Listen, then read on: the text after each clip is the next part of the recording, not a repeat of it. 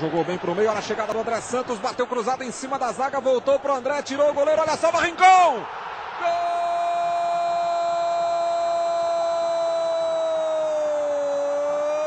Gol do Corinthians!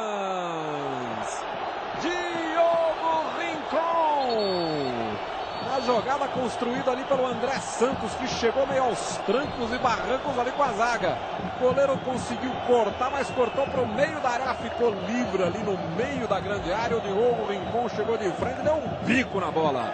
Na marca de 26 minutos, Diogo Rincon abre o placar para o Corinthians. Chicão, pé direito na bola, além do rebote!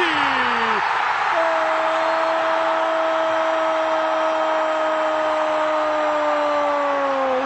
Diogo Rincon, do Corinthians!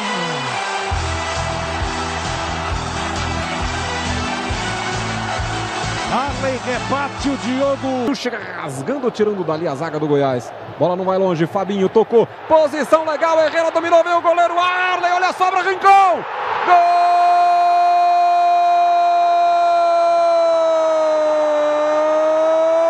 do Corinthians. Diogo Rincon. No lançamento, no rebote, a defesa vinha saindo. A posição era legal do Herrera. Na dividida com o goleiro, a bola ficou por ali. Diogo Rincon chegou dividindo e botando para dentro do gol na marca dos cinco minutos. Medellín. Olha o Diogo, tocou ali pro, Di, pro Dentinho. Passou André Santos, grande bola. Bateu cruzado, olha o Herrera. Toca no zagueiro, voltou. Gol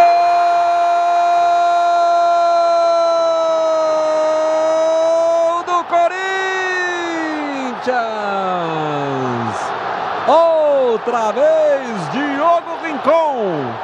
Na jogada toda construída pelo lado esquerdo com Dentinho e André Santos. O Herrera quase fez. A bola bateu no zagueiro aí. Diogo Rincon de novo na sobra. Soltou a perna esquerda.